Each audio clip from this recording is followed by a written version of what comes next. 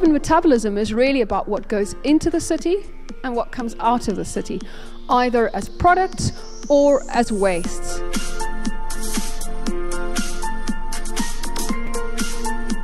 It's exciting to be in Cape Town for the first time, especially in this uh, very urban metabolism centered venue. So we are convinced that not only is it important to continue doing this type of analysis, but it's important, I think, how do we combine not just the high level data, but combine it with, with neighborhood and, and bottom up data.